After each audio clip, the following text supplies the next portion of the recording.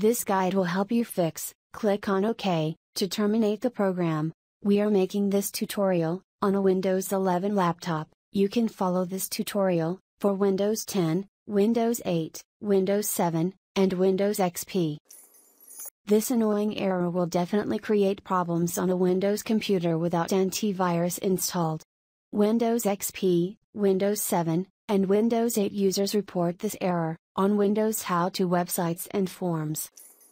You may even come across this error on Windows 10 and Windows 11 that come with the native security suite, Windows Defender. That's why disabling real-time protection in Windows Firewall is not recommended.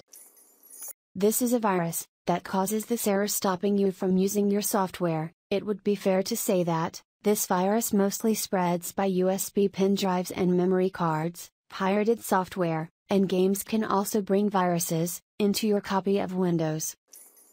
If you have a look at the list of programs affected by this error, you will find out that this error occurs with programs requiring consistent use of RAM.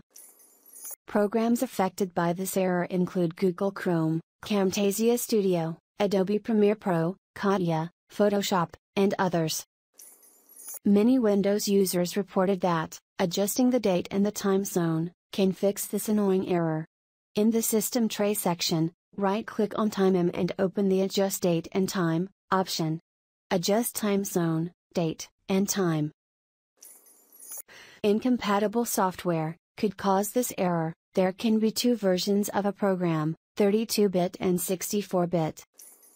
If you use a PC, with 64-bit system type, you cannot use the 32-bit version, the same applies to a device, with 32-bit system type.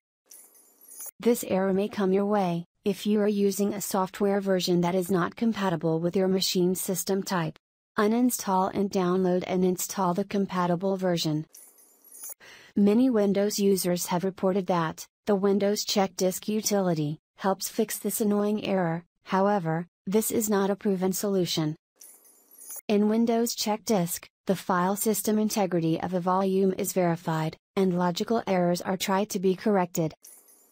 Before you use Check Disk, make sure .NET Framework is installed and enabled. Go to the Start menu and type CMD to search for the command prompt.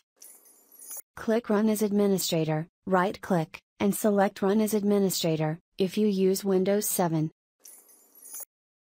Type CHKDSK in the command prompt, and press Enter key, and wait for 1 to 5 minutes. Hopefully, the Windows Check Disk utility will fix the error.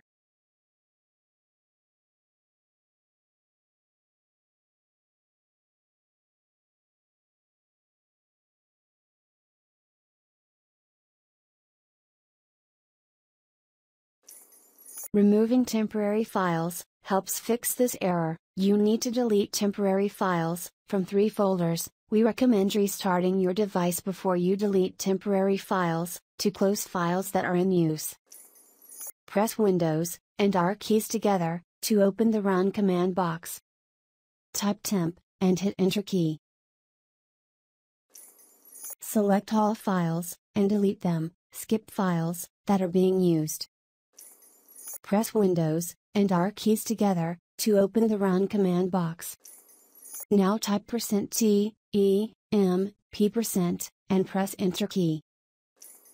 Select all files, and delete them.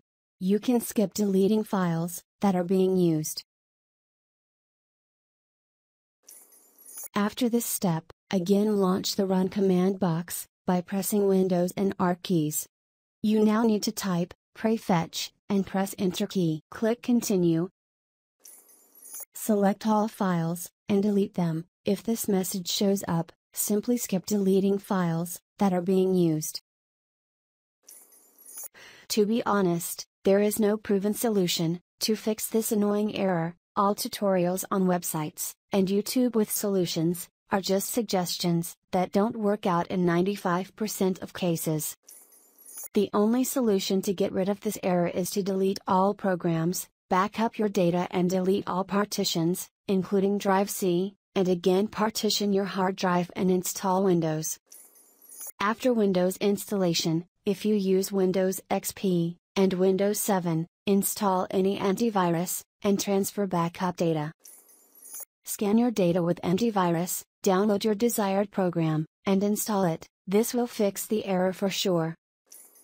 We hope, this guide has been useful, and informative to you, and one of the suggested solutions, will work out for you to fix this error.